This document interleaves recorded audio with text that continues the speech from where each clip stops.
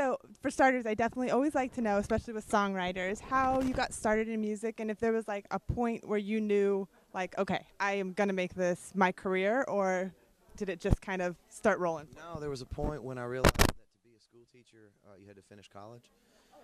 And uh, I couldn't do that. Uh, and failing out of college left me very few options waiting tables or uh, writing songs. And I did both for a while, and I liked writing songs better.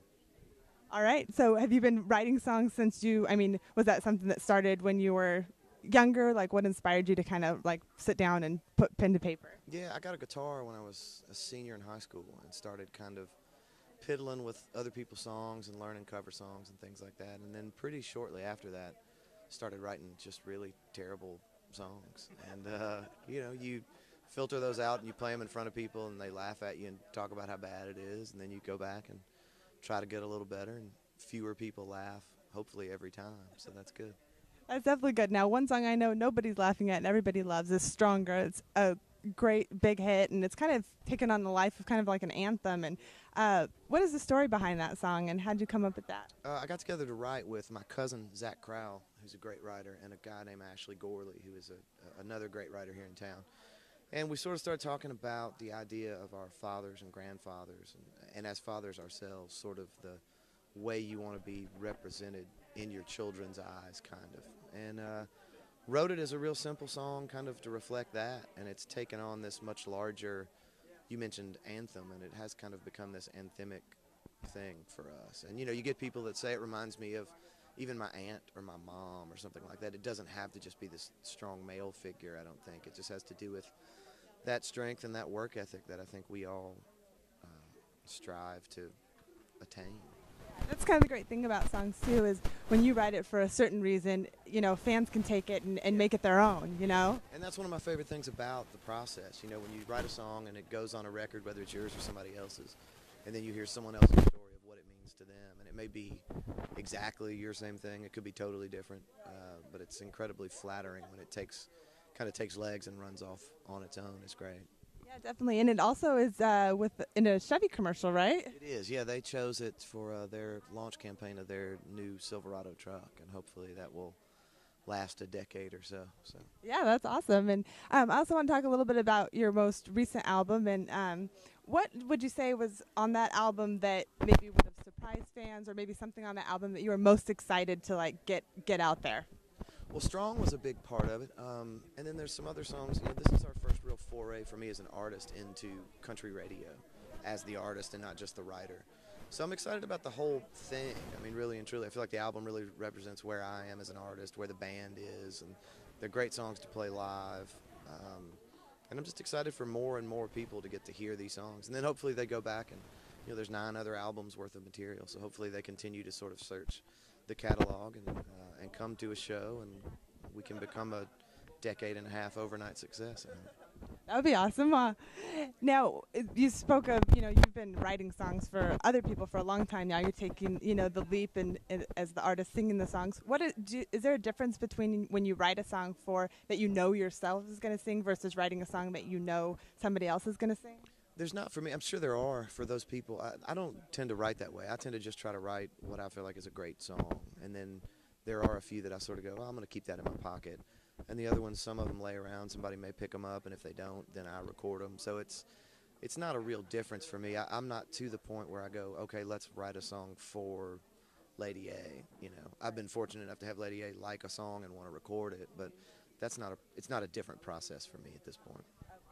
And uh, you wrote uh, "Even If It Breaks Your Heart," right? Uh, Eli Young Band song, and that is a fantastic song and has done really well. Was that? I mean, I think that song speaks to a lot of people who have dreams and are just like really diligently working towards something. Is that kind of autobiographical at all for you? It is totally autobiographical. It was uh, Eric Paslay and I wrote that together, and when we sat, we didn't have any ideas we had nothing musically or lyrically, and we just started talking about growing up. And I was telling him about me growing up in Nashville and sitting outside of clubs before I could get in, you know, falling in love with music. And then we started talking about him growing up in this little town in Texas and having those same kind of things.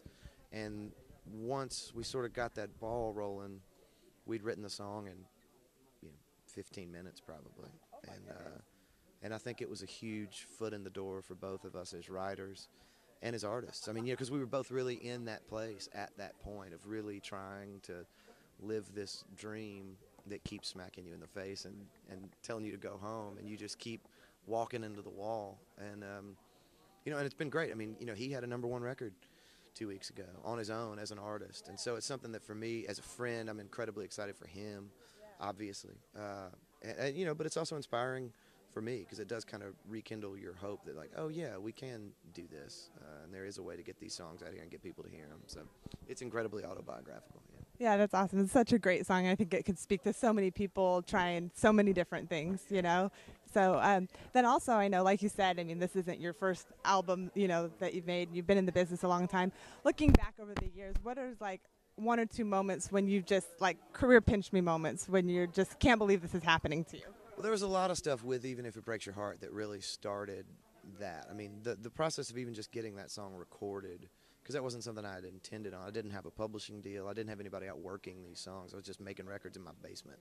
And so to even have someone record one of those songs was the start of kind of this incredible journey. And then, you know, it ended with being nominated with nominated for Song of the Year for the Grammys and for the CMAs and the ACMs. You know, and you find yourself out there in those – situations, and it's a it was a big series of pinch me moments. Yeah. Congratulations on all that. It's amazing. and what would you say, um, you know, with your album and, and all the things that you've done, what would something that you would want the fans to know most about you and most about your music? Uh, I mean, most about me, I think it tends to be more personal stuff. I mean, you know, I, I'm incredibly normal. I mean, you know, I, I dropped my kids off at school before I came here. I, I want to spend time with my wife and get to raise my boys and coach little league and all of those things that are incredibly boring. Uh, TMZ would follow me around for about 10 minutes and be like, "Okay, let's go home."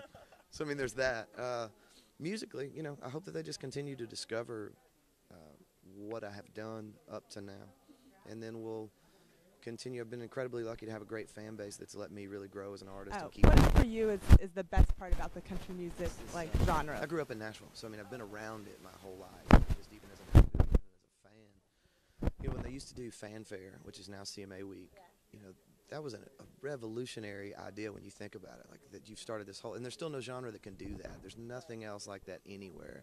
There's music festivals, but there's nothing where you can go and the artists stand in a booth and you can come and get an autograph and, and get a picture made. Like that's a an incredible thing, and you know you get to do the getting to do the Grand Ole Opry and things like that, and being a part of this family. And it really is that. It's a big just like a real family. It's big and dysfunctional, and there's people don't get along and they argue, and it's it's it's a wonderful thing to to be a part of. And everywhere you go, there are people that you know they still listen to the radio and buy these records and let you. They want to hear great stories, whether they're sad or happy. They kind of want all of that. And as an artist and as a writer, you couldn't ask for a better group of people to play music for. That's awesome, and it's, it is so true. And you can feel the the sense of community. I think in country music, that's what's really yeah, definitely. And obviously, we're just kind of getting going in 2014 and everything. So, what's what do you have on the books for this year? What should fans be looking forward to? Are you going to be out on the road? Yeah, we'll have a new single, uh, you know, in the next 10 or 12 weeks probably, and then. Uh, yeah, we're going to be on the road a bunch, and there's some great fairs and festivals and things like that. And we've got some big tour stuff that we won't announce until closer to the fall, but some stuff that we're really excited about. We'll make sure.